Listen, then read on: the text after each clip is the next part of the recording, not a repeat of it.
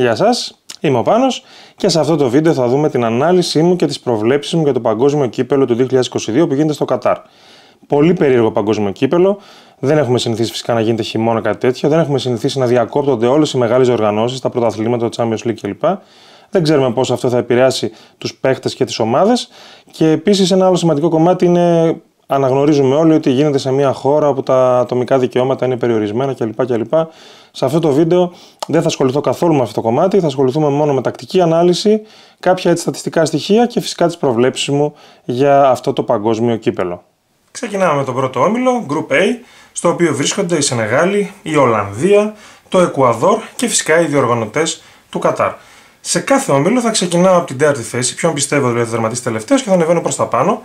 Και στο συγκεκριμένο όμιλο θα ξεκινήσω δυστυχώς γιατί ήθελα να πάει πολύ καλύτερα με τη Σενεγάλη. Τα λιοντάρια της φιλοξενίας, αυτό είναι το παρατσούκλι τους. Η Σενεγάλη, η οποία λίγες εβδομάδες μόνο πριν το, τη διοργάνωση του Παγκοσμίου Κυπέλου έχασε τον καλύτερο της παίχτη. Έχασε το Σάντιο Μανέ με τραυματισμό και χωρίς το Μανέ είναι άλλη ομάδα. Είναι κάτοχος του, του τελευταίου Κόπα Αφρικά, κέρδισαν την Αίγυπτο στα πέναλτι. Συνήθως παίζει με ένα 4-3-3, αν και τώρα λόγω της απουσίας του Μανέ είναι πιθανό να το γυρίσει σε 3-5-2. Έτσι εκτιμώ εγώ, θα το δούμε αυτό. Έχει πάρα πολύ σφιχτό κέντρο, με παίχτες που δεν ανεβαίνουν ιδιαίτερα, τον Γκουέγε, τον Μεντί και τον Σαρ. Δίνουν πλάτος η ακραία αμυντική, όμως ε, υπάρχει ένα συνήθες ε, σύστημα, σύστημα τακτικής όπου ο Κουλιμπαλί κάνει διαγώνιες μακρινές μπαλιές προς το Μανέ. Ο Μανέ δεν υπάρχει πια για να γίνει αυτό, οπότε θα πρέπει να βρουν κάποιον να τον αντικαταστήσουν εκεί πέρα. Προπονητής έχει τον Αλιού Σισε, ε, ήταν προπονητή, είναι προπονητής της ομάδας από παλιά, το 2015 και πιο πριν ήταν στην Ολυμπιακή ομάδα της Γκάνας. Βασίζεται πάρα πολύ στο, στο θάρρος αλλά και στην πειθαρχία των παιχτών του. Λέγεται ότι είναι πάρα πολύ σκληρός. Εκτιμώ ότι το σοκ του Μανέ δεν θα μπορέσουν να το ξεπεράσουν, με αποτέλεσμα να τους κατατάσσω στην τέταρτη θέση του πρώτου ομίλου. Στην τρίτη θέση, μια θέση πιο πάνω, βάζω το, το Εκουαδόρ με παρατσούκλι λατρή, δηλαδή η τρικολόρε. Έχει ένα πολύ νεανικό σύνολο, είναι η δεύτερη πιο νεανική ομάδα της διοργάνωσης. Ο προπονητής της την έχει οδηγήσει εδώ με ένα ε, πολύ άμεσο στυλ παιχνιδιού, πολύ γρήγορο, πολύ έντονο στυλ παιχνιδιού και ιδιαίτερης ε, σημασίας είναι ένας νεαρός παίκτης που έχουν, ο Πιέρο Χινκάπιε της Leverkusen, ο οποίος έχει πάρα πολύ καλή διαγώνια πάση και περιμένουμε σε αυτό το Μουντιάλ να, να λάμψει, ας πούμε έτσι. Πολύ γρήγορη ομάδα λοιπόν, με πολύ καλή φυσική κατάσταση. Παίζει κυρίως 4-3-3, αμήνεται σε στενούς χώρους, αφήνει δηλαδή χώρο στα πλάγια, προσπαθεί να βγει σε γρήγορη αντεπίθεση. Δεν είναι η ομάδα που θα έχει την κατοχή της μπάλας. Ε, έχει δύο ακραίους μπακ αρκετά επικίνδυνους, ε, παίζουν στην Genk και στην Brighton, οπότε είναι σε αρκετά καλό επίπεδο. Το βασικότερο πρόβλημά της είναι το κέντρο στο κομμάτι της δημιουργίας, δυσκολεύεται να περάσει κάθε πάσες. Δεν θα παίζουν παιχνίδι κατοχής σε κανένα ματ, οπότε το σύστημα που χρησιμοποιούν είναι αρκετά καλό απέναντι σε δυνατές ομάδες όπως είναι η Ολλανδία. Απέναντι όμως στη Σενεγάλη και το Κατάρ θα βρουν κάτι αντίστοιχο με αποτέλεσμα να εκτιμώ ότι θα δυσκολευτούν πολύ. Ένα κύριο χαρακτηριστικό που πρέπει να πούμε τελειώνοντας για το Εκουαδόρ είναι ότι σκοράρουν πάρα πολύ από τα στημένα. Το 40 37 με 40% των γκολ τους στα προκριματικά το πέτυχαν αποστημένα, περισσότερο από κάθε άλλη ομάδα, οπότε θα πρέπει αυτό να το έχουμε υπόψη. Στη δεύτερη θέση έχω τους Αλενάμπι, δηλαδή τους βαθικόκκινου, δηλαδή τους διοργανωτές του Κατάρ, οι οποίοι έχουν ε, ένα σύστημα ένα πλάνο για το πώς θα κατέβαιναν σε αυτό το Μουντιάλ, πώς θα έφτιαχναν μια καλή ομάδα, το οποίο πάει πολύ παλιά, πριν 15 χρόνια, όταν και αποφάσισαν να προσλάβουν προπονητές από τη φημισμένη Λαμασία Ακαδημία της Μπαρσελόνα. Πήραν λοιπόν αρκετούς προπονητές από εκεί και άρχισαν να δουλεύουν με νεαρούς παίχτες. Ένας από αυτούς τους προπονητές είναι και ο τωρινός τη προπονητής, ο Φέληξ Σάντσες, ο οποίος ήταν και πιο πριν προπονητής της Άντε 19. Έχει δουλέψει δηλαδή με αυτούς τους παίχτες για πάρα πολλά χρόνια και υπάρχει ένα δέσιμο σε όλους αυτούς. Παίζουν αυστηρά 5-3-2 και προσπαθούν να παίξουν παιχνίδι κατοχής. Είναι πολύ καλοί σε τεχνικό επίπεδο, δεν είναι ιδιαίτερα δυνατοί. Δηλαδή, αν κάπου έχουν ένα μειονέκτημα, είναι η δύναμή τους. Καταφέρνουν αρκετές φορές οι δύο πολύ καλοί striker που έχουν να ανοιχτούν στα πλάγια για να μπορέσουν να πάρουν την μπάλα και να ανοίξουν κάποιους χώρους στην επίθεση. Οι δύο striker είναι λοιπόν πάρα πολύ καλοί. Έχουν επίσης ένα πολύ καλό αριστερό στόπερ στην τριάδα, τον Αμπτελ Καρίμ Χασάν ο οποίος έχει εξαιρετικά στημένα με το αριστερό πόδι με το εξωτερικό, θυμίζει Ρομπέρτο Κάρλος. Έχουν ένα άγχος, θα έχουν ένα άγχος κατά την άποψή μου, αλλά ενδεχομένως να έχουν και αυτό το κλασικό σμπρόξιμο που έχουν οι διοργανωτές. Θυμίζω από διοργανωτές παγκοσμίου κυπέλου, μόνο η Νότια Αφρική το 2010 δεν κατάφερε να προκριθεί στην επόμενη φάση. Οπότε εκτιμώ ότι αυτή τη φορά Ε, το Κατάρ θα τα καταφέρει. Οι δύο επιθετικοί λοιπόν είναι ο Αλή και ο Αφίφ. Ε, οι οποίοι, ο Αφίφ έπαιζε ας πούμε, υπό τις οδηγίες του Τσάβη στην, ε, στην Αλσάτ και είναι εξαιρετικός παίχτη. Εκτιμώ ότι θα καταφέρουν να προκριθούν, θα τελειώσουν δεύτεροι. Ένα τελευταίο στοιχείο είναι ότι έχουν ένα χαφ, τον Αμπτουλαζή Χατέμ, ο οποίος έχει πάρα πολύ δυνατά μακρινά σουτ. Ενδεχομένως δηλαδή καταφέρει να βάλει και κάποιο γκολ από μακριά. Και πάμε φυσικά στην πρώτη θέση στους Οράνια στην Ολλανδία, φορά και τη φανέλα τους παρεπτόντο, η οποία μάλλον δεν μου κάνει και πολύ καλά, έχω πολλά χρόνια από την αγόρασα. Ε, είναι 15 μάτσα η Τι έρχεται λοιπόν πολύ φορμαρισμένη. Τελευταία της ήττα ήταν από την Τσεχία στο Euro. Έχει έναν φοβερό προπονητή, τον Λουίς Φανχάλ, ε, στην τελευταία μεγάλη του διοργάνωση. Παίζει 5-3-2. Πιέζει αρκετά ψηλά, αν και εκτιμώ ότι αυτή η διοργάνωση δεν θα πιέζει τόσο ψηλά λόγω και της υψηλής θερμοκρασίας ε, που θα υπάρχει κατά τη διαξαγωγή ε, των αγώνων. Έχει πάντα προσοχή στην άμυνα, δηλαδή τέσσερις παίχτε μένουν πάντα πίσω. Δεν ανεβάζει πάρα, πάρα πολλούς παίχτε πίσω. Το ίδιο ακριβώς έκανε ο Φανχάλ και στο Μουντιάλ του 2014, όταν και κατάφερε να φτάσει στην Ολλανδία στην τρίτη θέση. Θυμίζουμε, αποκλείστηκε από την Αργεντινή στα πέναλτι στον ημιτελικό. Και δέχτηκε μόνο 4 γκολ σε 7 μάτς τότε. Πιστεύω δηλαδή ότι η βάση της ε, εθνικής Ολλανδίας δεν είναι η επίθεσή της, αλλά είναι η άμυνά της. Έχει πλάγιους μπακ που είναι πολύ σημαντική στο σύστημα αυτό. Έχει τον Ντάμφρις, ο οποίος, άμα επαναλάβει το πρωί την προηγούμενη διοργάνωση, τότε θα μιλάμε για Ολλανδία, μπορεί να φτάσει πολύ ψηλά. Ε, σκοράρει αρκετά μέσα από την περιοχή, ε, με κάθετες, συγγνώμη, με πλάγιες πάση είτε από τα δεξιά είτε τα αριστερά και σκοράρισμα, γρήγορη αναλλαγή της μπάλας. Έχει ένα νεαρό παίχτη, τον Γκάπκο της ε, Φέγενορντ, ε, της Αϊνχόβεν μάλλον. Όχι, ναι. Ο οποίος ε, λογικά θα εντυπωσιάσει, μπορεί να παίξει και δεύτερο φόρ και πρώτο φόρ και αριστερό εξτρέμ.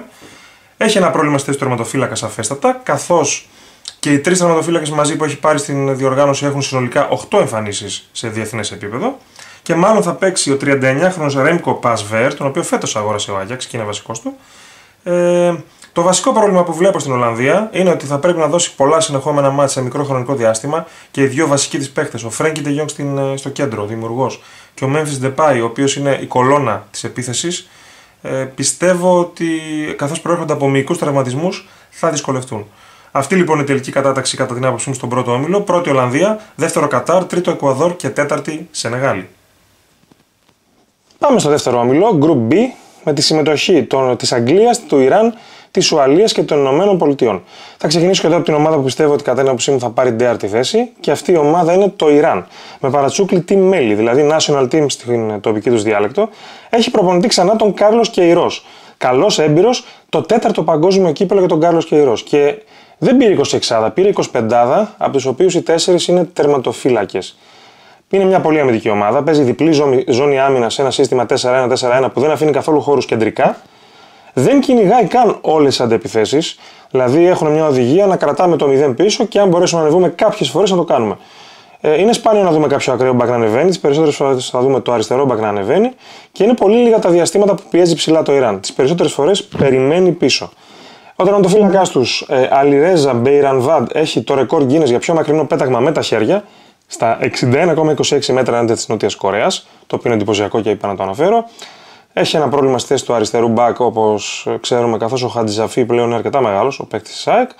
Και υπάρχει μια διαμάχη, καταρχήν γενικότερα υπάρχει αυτό το κλίμα στο Ιράν με την καταπάτηση των ανθρωπίνων δικαιωμάτων κλπ. Οπότε δεν ξέρουμε πόσο αυτό θα επηρεάσει την ομάδα. Υπάρχει όμως και ένα άλλο συγκεκριμένο κλίμα στην εθνική ομάδα, το πώς απολύθηκε ο Σκόσιτς, ο οποίος είχε πολύ καλή σχέση με αρκετούς παίκτες και όλο αυτό έχει δημιουργήσει έρηδες μέσα στην ομάδα. Φυσικά μεγάλο αστέρινο Ταρεμί που παίζει στην πόρτα και σκοράρει συνεχώς και σημαντικός παίχτης είναι επίσης ο Εζατολάχη που παίζει σαν αμυντικό χαβ μπροστά από την άμυνα. Παρ' όλα αυτά το Ιράν δεν βλέπω πώς θα μπορέσει να σκοράρει.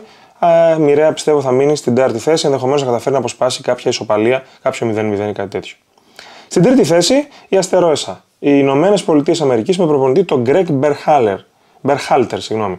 Είναι μια πολύ αμφιλεγόμενη φιγούρα ο προπονητής αυτός, καθώς οι φήμες λένε ότι προσλήφθηκε μόνο και μόνο επειδή ο αδερφός του, ο Τζέι, ήταν πρόεδρος της Ομοσπονδίας όταν προσλήφθηκε.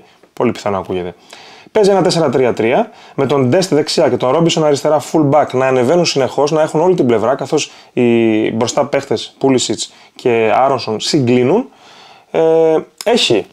Δεν έχει βασικά. Καταρχήν δεν έχει ένα καλό φόρ. Ένα φόρ που θα πεις ότι έχει το εύκολο γκολ που σκοράρει συχνά αυτό είναι ένα βασικό πρόβλημα που έχει. Και δεν έχει και καλά στόπερ. Ε, είχε δύο-τρεις καλούς παίκτες, τραυματίστηκαν, δεν θα συμμετέχουν σε αυτή τη διοργάνωση. Οπότε έχει ένα μεγάλο πρόβλημα στο κέντρο της άμυνας. Είναι γενικά πολύ, πολύ αθλητική ομάδα. Στο αμυντικό χάφ είναι ο, ο Άνταμς της Leeds και γενικά έχει καλούς παίκτες. Προσπαθεί να παίξει γρήγορα στην αντεπίθεση με πολλές πάσες στο δικό τους μισό για να τραβήξουν την αντίπαλη ομάδα να ανοίξει την άμυνά της και να μπορέσουν να βγουν γρήγορα, ε, κυρίως από τα άκρα. Θα πρέπει να δώσουμε βάση τον 19χρονο Γιουνού Μουσά, που έχει ήδη καροθερωθεί στη Βαλένθια, ένας εξαιρετικός χαφ, πολύ ήρεμος με την μπάλα στα πόδια και με σωστές ε, πάσες.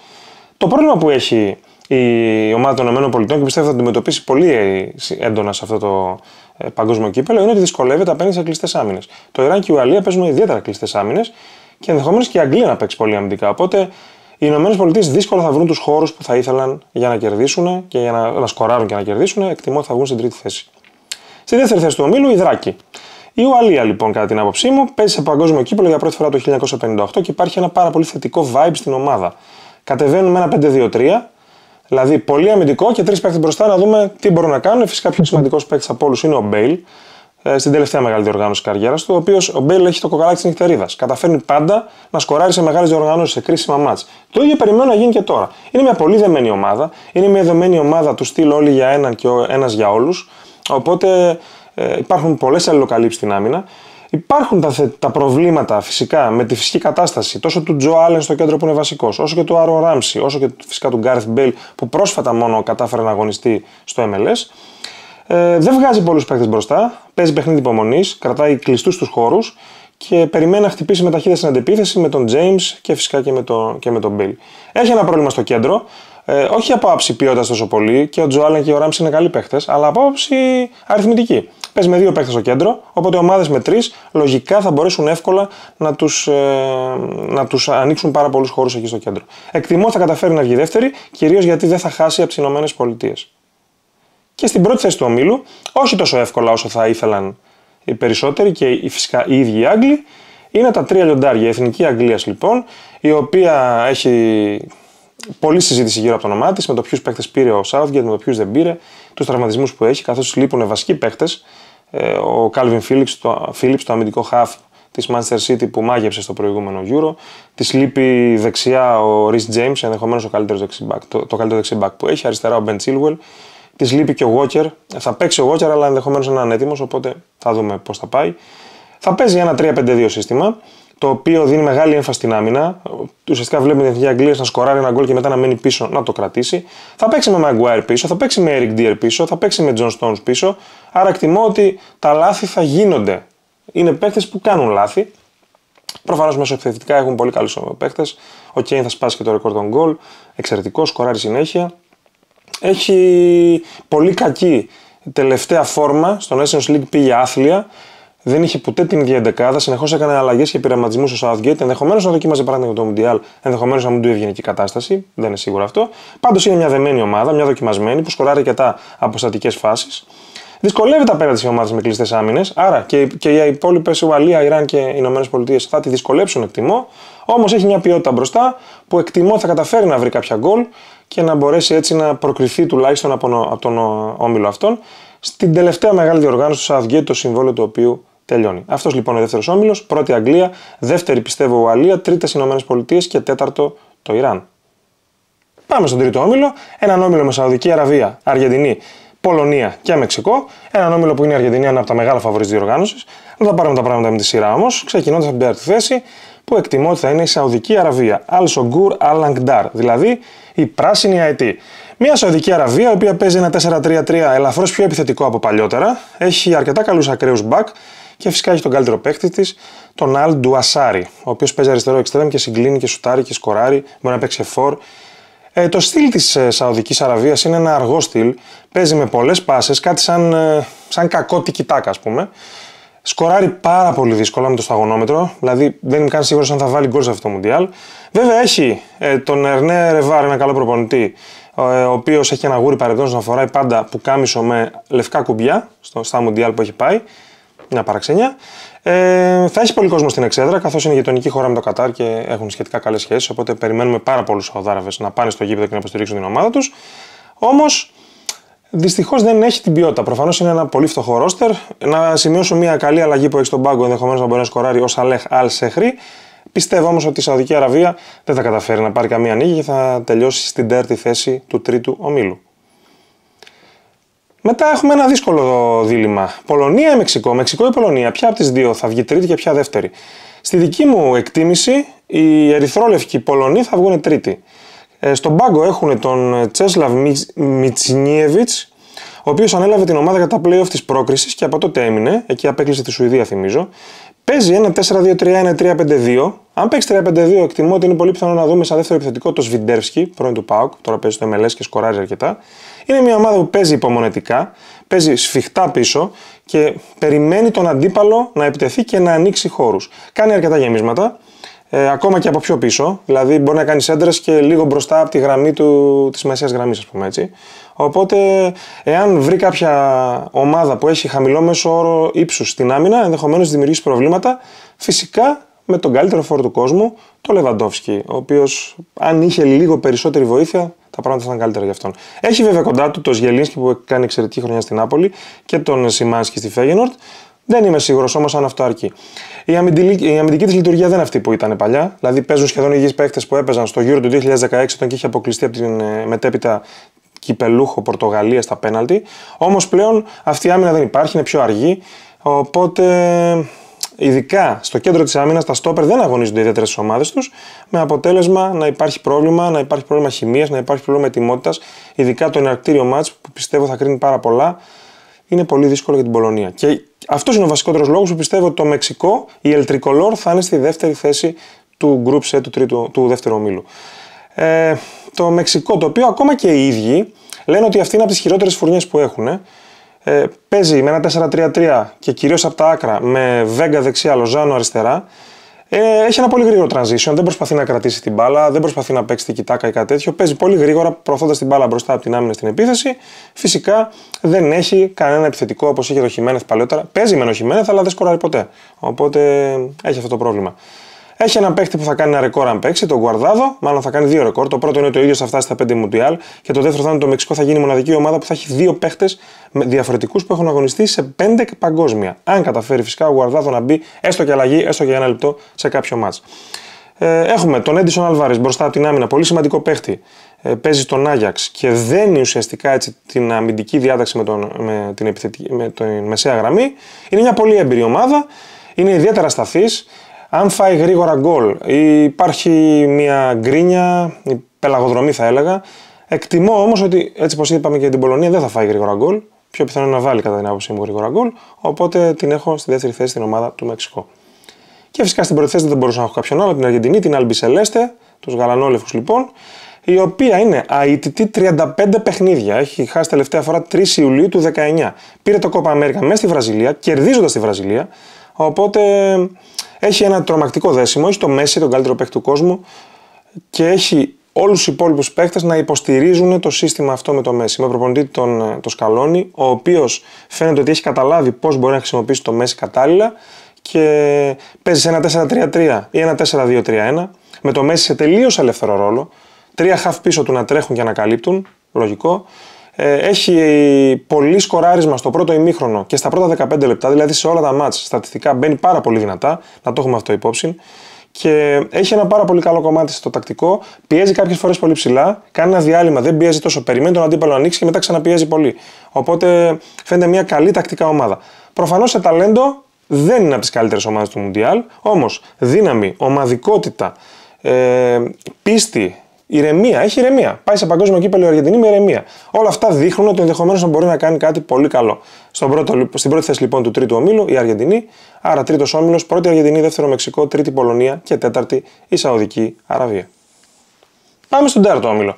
Ένα τέταρτο όμιλο στον οποίο θα παίξουν η Δανία, η Γαλλία, η Αυστραλία και η Τινησία. Και πάμε να δούμε τις ομάδες από κάτω προς τα πάνω. Εκτιμώ ότι στην τελευταία θέση ήταν η Σοκερούζ, η Αυστραλία δηλαδή, η οποία είναι θα πάει σε πέμπτο συνεχόμενο Μουντιάλ. Τεράστια επιτυχία αυτή. Με προπονητή τον Γκράχαμ Άρνολντ, ο οποίος θυμίζω ότι πήρε το ρίσκο της καριέρας του στα playoff με το Περού, καθώς πήγαν στα πέναλτι και πριν τα πέναλτι, ακριβώς πριν τα πέναλτι, αντικατέστησε το καλύτερο παίκτη που έχει, τον αρχηγό του, τον οδοφύλακα, τον Ματ Ράιαν, με τον Άντριου Ρέντμεϊν, ο οποίος και έπιασε τρία πέναλτι, κάτι τέτοιο. Και κατάφερε έτσι η Αυστραλία να προκριθεί αντί για το Περού. Αυτό έγινε τον Ιούνιο.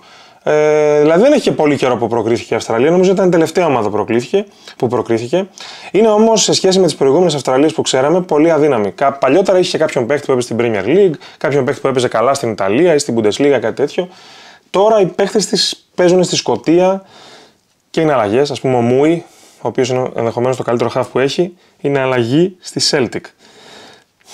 Ε, ο, έχει δυσκολία στο σκοράρισμα, πολύ μεγάλη δυσκολία στο σκοράρισμα. Ο Μάθιου Λέκη ενδεχομένως να είναι ένας παίκτης που θα παίζει εκεί, ή ο Μαμπίλ, ο οποίος είναι καλός σκόρε για τα δεδομένα της Αυστραλίας. Ε, σε κανονική ροή αγώνα δυσκολεύεται να σκοράρει, το γνωρίζει αυτό και έτσι προσπαθεί να παίξει πάρα πολύ κλειστά, πάρα πολύ πίσω, να μην αφήνει καθόλου χώρους, με συμπαγή άμυνα. Το κακό είναι ότι έχει αργή άμυνα, οπότε σε γρήγορες αναλλαγέ της μπάλας από το ένα άκρο στο άλλο θα δυσκολευτεί η άμυνα της Αυστραλίας. Στα θετικά που έχει είναι ένα πάντα αισιόδοξο πνεύμα που έχουν ως αν Αυστραλοί. Ε, έχουν τον Ιρβάιν που μπορεί να σκοράρει από κάποιο απευθείας φάουλ, ακόμα και λίγο πιο μακριά. Έχει πολύ καλά πόδια. Και ανερχόμενο αστέρι τους είναι ο Γκαράνγκ Κουόλ, ο οποίος τον αγόρασε ήδη Νιούκασλ για το Γενάρη. Ε, είναι ένας 18χρονο επιθετικός που ενδεχομένως να μπαίνει αλλαγή και να μπορεί έτσι να βοηθήσει και αυτός. Έχει βασικούς παίκτες που μόλις επανήλθαν από τραυματισμό, τον Σούταρ, τον Χρούστιτς και τον Μάρτιν Μπόιλ. Ένα σε κάθε γραμμή, χαφ, άμυνα και δεξί εξτρέμ. Οπότε δεν βλέπω πώς θα μπορούσε η Αυστραλία να κερδίσει κάποιο μάτς. Δυσκολεύομαι να δω πώς θα μπορούσε και να σκοράρει. Οπότε έχω την Αυστραλία στην τέταρτη θέση του τέταρτου ομίλου. Για την τρίτη θέση έχω μεγάλο δίλημα καθώς είμαι ανάμεσα σε δύο ομάδες. Περιέργως δεν είμαι ανάμεσα σε, δύο, σε δίλημα εδώ για το ποιος θα βγει πρώτος ή δεύτερος. Καθώς ε, τρίτη είμαι ανάμεσα στην ε, Γαλλία ή στην Τινησία. Δεν... Τελικά έχω διαλέξει την Τινησία πηγαίνοντας κάπως με την ποιότητα των παιχτών της Γαλλίας και την, ε, και την ναι, ας πούμε έτσι, ε, το, το βάρος της φανέλας που έχουν. Φοράω και τη φανέλα του Ζιντάν παρεπτόντω. Αλλά δεν πιστεύω ότι θα πάει καλά η Γαλλία. Παρ' όλα αυτά την έχω δεύτερη. Να πούμε λίγο για την Τινησία που είναι τρίτη. Η IT της Καρχιδόνας είναι το παρατσούκλι τους. Έχουν νέο προπονητή από το Γενάρη ο οποίος βέβαια ήταν βοηθός του προηγούμενου, ο Γιαλέλ Καντρί. Δεν έχει αλλάξει σύστημα. Συνεχίζει να παίζει με ένα 4-1-4-1-5 σε καλύτερες ομάδες και κλείνει πάρα πολύ στενά για να αναγκάσει τον αντίπαλο να παίξει από τα άκρα και να κάνει έντρε. Καθώς έχει αρκετά καλά και ψηλά στο περί την Ισία, οπότε θεωρεί ότι δεν κινδυνεύει ιδιαίτερα από σέντρες. Εάν αναγκαστεί να ρισκάρει, το γυρίσει ένα 4-3-3 ε, έχουμε το Σκύρι, το αμυντικό χάφ της κολονίας, που είναι από τους πιο σημαντικούς παίχτες τους, ο οποίος όταν έχει την μπάλα η Τινησία γυρίζει ανάμεσα στα στόπερ και προσπαθεί να κάνει παιχνίδι, δίνοντας τη δυνατότητα στους ακραίους μπακ να ανέβουν. Το ρόστερ της Τινησία προφανώς είναι φτωχό, αφού λέει ο καλύτερος παίκτης ενδεχομένως να είναι ο Σκύρι. Ε, έχουν ένα φαβορό στατιστικό. Δεν δίνουν καλές ευκαιρίες στους αντιπάλους τους. Ακριβώς επειδή είναι πολύ σφιχτοί κεντρικά, τα, οι περισσότερες ευκαιρίες που δέχονται είναι από τα πλάγια. Με αποτέλεσμα να έχουν οι αντίπαλοι ένα πολύ χαμηλό expected goal per shot, δηλαδή ανά shoot είναι 0,07 το expected goal που έχουν, που είναι εντυπωσιακό στατιστικό. Αντίστοιχα βέβαια δεν δημιουργούν και οι ίδιοι καλές ευκαιρίες. Ε, στηρίζονται αρκετά στον Ιουσέφ Σακνή, τον αρχηγό του, τον επιθετικό, τον 32χρονο, ο οποίος όλοι λέγανε θα μπορούσε να κάνει καριέρα στην Ευρώπη. Αυτός αποφάσισε να παίξει στο Κατάρ από τα 21 του και έχει πάρει εκεί πολλά πρωταθλήματα προφανώς και φαντάζομαι και πολλά λεφτά. Μπαίνει δυνατά σε όλες τις μονομαχίες η Τινησία. Ε, στα ένα προς ένα είναι πολύ δυνατή. Αλλά έχει πολύ μέτρια ποιότητα ρόστερ, οπότε δεν θεωρώ ότι μπορεί να φτάσει πιο πάνω από την τρίτη θέση. Ένας παίκτης που πρέπει να δούμε είναι ο, αμυντικός χάφτης Φερεντ Βάρ, ο Αϊσού Λαϊντουνί, ο οποίος λογικά θα απασχολήσει μεγάλες ομάδες της Ευρώπης τους επόμενους μήνες. Στη δεύτερη θέση έχω βάλει τους Λεμπλέ, τη Γαλλία δηλαδή, η οποία έχει πολύ σημαντικές απουσίες στο κέντρο, τον Καντέ και τον Πογκμπά. Ε, ο Πογκμπά και ο Καντέ λοιπόν λείπουν. Βασικότερος χάφ όλων θα είναι ο Ραμπιό. Αν μ' άκουγε κανείς το λέω αυτό, ποτέ θα γελούσαν και τα μουστάκια του. Ούτε θα μπορούσα ποτέ να φανταστώ να πω ότι ο Ραμπιό θα είναι ο βασικός τους χάφ. Και όμως λογικά θα είναι. Θα παίξει με Τσουαμενί και Ραμπιό. Και ο Ραμπιό είναι ο μοναδικός έμπειρος. Ε, έχει τον Ντεσάμ στον πάγκο, πραγματιστή, τελευταία δουλειά της καριέρας του στην Εθνική Γαλλίας λογικά, καθώς ο Ζιντάν περιμένει στη γωνία τώρα που τελειώνει το συμβόλαιό του, ειδικά αν δεν πάει καλά, όπως εκτιμώ δεν θα πάει καλά. Ο Βαράν μάλλον θα χάσει την Πρεμιέρα. Η άμυνά τους μοιάζει λίγο προβληματική. Υπάρχουν συνεχείς αλλαγές στην άμυνα. Δεν έχει μπορέσει ο Ντεσάμ να βρει ένα σταθερό δί, ε, δίδυμο στόπερ. Και έκανε και κάτι ενδιαφέρον ο Ντεσάμ. Λίγο όταν ανακοίνωσε την αποστολή, ξέρω εγώ μερικές εβδομάδες πριν, είπε ότι εγκαταλείπω το 3-4-1-2 που έπαιζα και πλέον θέλω να παίξω ένα λίγο πιο επιθετικό σύστημα, να παίξω με 4 πίσω. Ενδεχομένως και να είναι μπλόφα αυτό, ενδεχομένως και να είναι κανονικό. Αν παίξει με 4 πίσω, τότε θα αναγκαστεί ο Εμπαπέ να τραβηχθεί στα πλάγια, και δεν το θέλει αυτό. Γενικά η κατάσταση με τον Εμπαπέ, την κρίνια, το ότι κοιτάει τη δικιά του εικόνα υπάρχει. Ε, πολύ μεγάλη ποιότητα φυσικά ρόστερ μπροστά, Μπενζεμά, Γκρισμάν, Εμπαπέ. Ποιότητα πίσω, αλλά δεν έχει καταφέρει να βρει χημεία μεταξύ τους και ένα ανεπαρκές κέντρο. κάνουν τη Γαλλία μια ομάδα που στην καλύτερη περίπτωση θα βγει δεύτερη σε αυτόν τον ομίλο. Στην κορυφή του ομίλου, κατά την άποψή μου, οι Δανέζοι δυναμίτες. Αυτό είναι το παρατσούκλι της Δανίας, η οποία θα συνεχίσει να παίζει όπως έπαιξε και στο προηγούμενο γύρο, όπως έπαιξε και στο Nations League και στις δύο οργανώσεις με εξαιρετικά αποτελέσματα. Παίζει ένα 4-2-3-1, μπορεί να το γυρίσει και με τρεις πίσω, ε, το οποίο το κάνει κατά τη διάρκεια των αγώνων, των αγώνων. Έχει χημεία σαν ομάδα, είναι συγκροτημένη σαν ομάδα και έχει μια ε, συνέπεια που μπορεί να αντιμετωπίσει τον οποιοδήποτε. Δηλαδή, με όποιον αντίπαλο και να παίξει, δεν μπορεί να την αποκλείσει. Ακόμα και αν παίξει με την Αργεντινή, με τη Βραζιλία, με την, με την Ισπανία, με οποιοδήποτε και να παίξει, δεν μπορεί να την αποκλείσει. Ε, βοηθάει πολύ η εξαιρετική τριπλέτα στο κέντρο που έχει, Χόιμπεργκ, Ντιλέινι και φυσικά ο Έριξαν, ο οποίος επανήλθε ως άλλος Λάζαρος. Ε, μπροστά δεν έχει το φόρ που να ξεχωρίζει. Αυτό είναι ένα βασικό πρόβλημα που έχει. Καταφέρει να σκοράρει βέβαια. Ανεβαίνει το, το αριστερό μπακ πάρα πολύ ο Μέλε. Θυμίζω. Μπορεί να σκοράρει και με το αριστερό και με το δεξί. Έχει πολύ καλά πόδια. Ε, έχει τον Άντερσεν της Crystal Palace, ο οποίος είναι στόπερα, αλλά έχει εξαιρετική διαγώνια μπάλα για να μπορεί να βγαίνει γρήγορα στην αντεπίθεση. Είναι μια πλήρης ομάδα. Τη βάζω στην πρώτη θέση του ομίλου και πιστεύω θα πάει και αρκετά μακριά. Άρα, τέταρτο όμιλος κατά την άποψή μου. Πρώτη Δανία, δεύτερη με ερωτηματικό Γαλλία, τρίτη την Ισία και τέταρτη Αυστραλία.